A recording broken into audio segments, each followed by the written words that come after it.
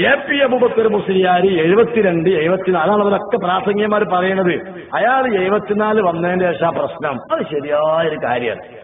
അങ്ങനെ ഒരു സത്യാണ് ആ പറയുന്നത്. കാന്തപുരം എ പി അബുബക്കർ മുസ്ലിയാർ ആയിരത്തി തൊള്ളായിരത്തി എഴുപത്തിനാലിൽ നേതൃത്വത്തിൽ വന്ന ശേഷമാണ് പ്രശ്നം ഉണ്ടായത്. അത് ശരിയാണ്.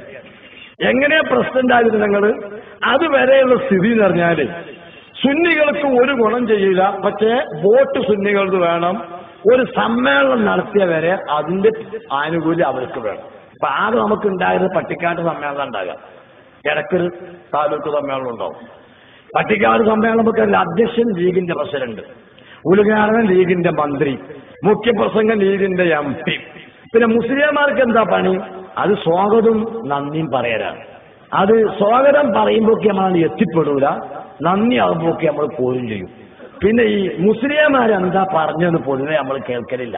രാവിലെ ചന്ദ്രിക കണ്ടിട്ട് എടുത്ത റഹ്മാനായ സി എച്ച് ചൂണ്ടിക്കാട്ടി ചേട്ടു സാഹിബ് വരച്ചു കാട്ടി. ഇവരെ കൊരക്കലും വിരക്കലും ചാടലും അല്ലാതെ മുസ്ലിംമാരെന്ത് പറഞ്ഞു? അത് അനുവദിക്കൂല. എന്നാൽ എ പി അബുബക്കർ മുസ്ലിയാന് വന്ന ശേഷം എഴുപത്തിയെട്ടിൽ എസ് വൈ എസിന്റെ ഒരു സമ്മേളനം വരിക കോഴിക്കോട്. അപ്പൊ മുപ്പര് പറഞ്ഞു അധ്യക്ഷനാരാ? അധ്യക്ഷൻ കണ്ണിയത്ത് ഉദ്ഘാടനാരാ ഉദ്ഘാടനം പി കെ വോക്കർ മുസ്ലിയാരും. അത് ശരി. അപ്പൊ മറ്റവർക്കോ മറ്റവർക്ക് ഓൾക്ക് മാത്രമല്ല എല്ലാവരും എന്നോട്ടെ ഇവിടെ ഒരുപാട് രാഷ്ട്രീയ സംഘടനകളില്ലേ. എല്ലാവരും വന്നു പോയിക്കോട്ടെ.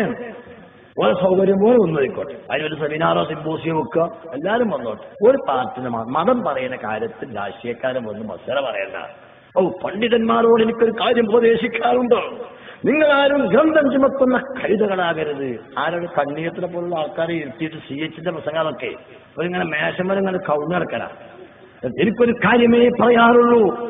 നിങ്ങളാരും ഗന്ധം ചുമക്കുന്ന കൈതകളാകാൻ പാടില്ലോ. അപ്പൊ സാധുക്കൾ എന്നാ കൈത ആണ്ടാന്നുള്ള കേറ്റങ്ങൾ അവനെ അറിയും പോലും ചെയ്യും. ഇവനാക്കി അയച്ചതാണ് അപ്പൊ കാന്തപുരം എ പി അബൂബക്കർ മുസ്ലിയാർ വന്ന ശേഷം പ്രശ്നം തുടങ്ങി ശരിയാ. എങ്ങനെയാ പ്രശ്നം തുടങ്ങിയത്? ഇത് സമസ്ത. അത് മുസ്ലിങ്ങളുടെ ആത്മീയ സംഘടനയാണ് എസ് വൈ എസ് മുസ്ലിങ്ങളുടെ ആത്മീയ സംഘടനയാണ് ഈ സംഘടനയിലൊക്കെ അവർ മതപണ്ഡിതന്മാർ കാര്യം പറയട്ടെ. എന്നാൽ രാഷ്ട്രീയക്കാരെല്ലാരും സഹായം വേണം. എല്ലാരും വന്നോട്ടെ. ഒരു പാർട്ടിക്കാരെ മാത്രം ആക്കണ്ട.